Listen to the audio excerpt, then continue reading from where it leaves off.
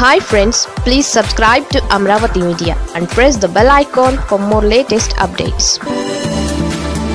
JC Prabhakar Reddy ఇంట్లో ED తనిఖీలు.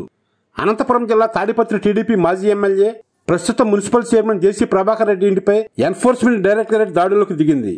తాడిపత్రిలోని ఆయన ఇంట్లో తనిఖీలు చేస్తోంది.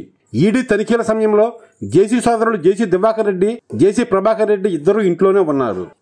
జేసీ ప్రభాకర్ రెడ్డితో సహా కుటుంబ సభ్యుల ఫోన్లను ఈడీ అధికారులు స్వాధీనం చేసుకున్నారు. శుక్రవారం ఉదయం నుంచే ఈడీ అధికారులు దాడులకు దిగారు. గతంలో అశోక్ లేలాండ్ నుంచి కొనుగోలు చేసిన వాహనాల విషయంలో జరిగిన లావాదేవీలపై ఈడీ ఈ సోదర నిర్వహిస్తున్నట్లుగా తెలుస్తోంది.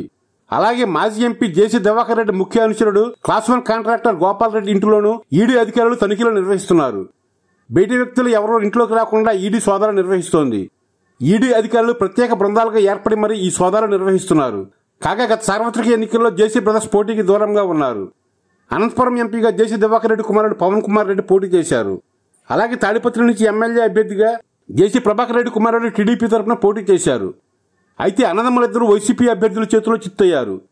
వైసీపీ ప్రభుత్వం అధికారంలోకి రాగానే జేసీ బ్రదర్స్ను టార్గెట్ చేసింది. ముఖ్యంగా దివాకర్ ట్రావెల్స్ బస్సులకు అనుమతులు లేవని పలు నిబంధనలు ఉల్లంఘించారని బస్సులను చీజ్ చేసింది. ఇందుకు సంబంధించి జేసీ ప్రభాకర్ రెడ్డిపై పలు కేసులు నమోదు చేసి ఆయన జైల్లో కూడా వేసింది.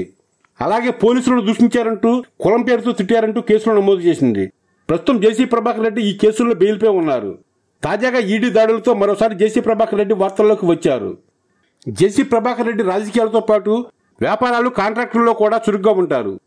గత టీడీపీ ప్రభుత్వ హయాంలో ప్రభాకర్ రెడ్డి ఎమ్మెల్యేగా ఉంటే ఆయన సోదరుడు దివాకర్ రెడ్డి ఎంపీగా ఉన్నారు. దివాకర్ ట్రావెల్స్ పేరుతో బస్సులను కూడా నడుపుతున్నారు. అయితే వైసీపీ ప్రభుత్వం అధికారంలోకి వచ్చాక వీరి వ్యాపారాలపై దెబ్బపడింది. ప్రభుత్వం వీరిని పూర్తిగా టార్గెట్ చేయడంతో కొన్ని వ్యాపారాలను మూసేశారు కూడా. ప్రస్తుతం ప్రభాకర్ రెడ్డి తాడిపత్రి రాజకీయాలకు పరిమితం అవుతుండగా దివాకర్ రెడ్డి పూర్తిగా సైలెంట్ అయ్యారు.